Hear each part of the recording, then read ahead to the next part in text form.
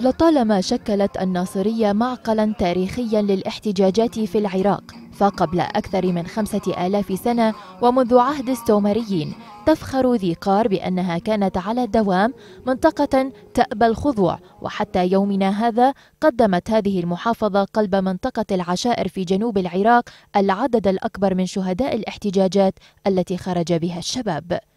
جميع المحافظات العراقية ومنها محافظة صلاح الدين وجامعة سامراء بالتحديد أعلنت الحداد على أرواح الأبرياء الذين سقطوا من أجل التغيير والإصلاح.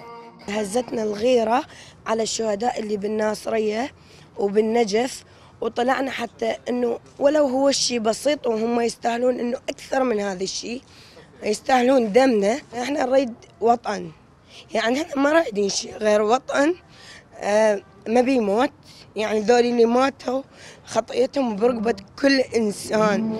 كان إلى سبب بموتهم. نستنكر العمل اللي صار بمحافظة ذي قار وإحنا جينا هنا تضامنا ويا أخواننا وإحنا كليتنا واحد وماكو طائفية ولا تفرقة. الطلاب اعتبروا هذه الوقفة أقل شيء يقدمونه لمن ضحوا بأرواحهم من أجل نيل الحقوق. اولا الشهداء الذين سقطوهم يعني شالتهم الغيرة والله العظيم. غيرة مبدأ وانسانيه وإسلام كل كل المبادئ الاسلاميه هذا أول شيء. ثاني شيء بالنسبة للشهداء اللي راحوا بالنسبة للتغيير قادوا عملية التغيير بأنفسهم.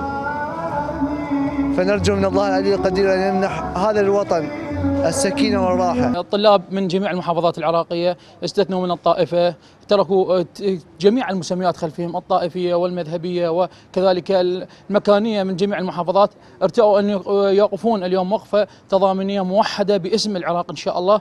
لافتة وعلم العراقي هو الفيصل بيننا. رحم الله الشهداء وشاف جرحى جميعا.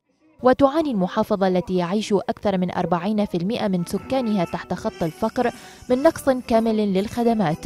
يضاف إليه تقلبات الطقس بين الجفاف والفيضانات المدمرة للمحاصيل ولا يطالب شبابها إلا ببعض الحقوق التي دفعوا ثمنها غالياً.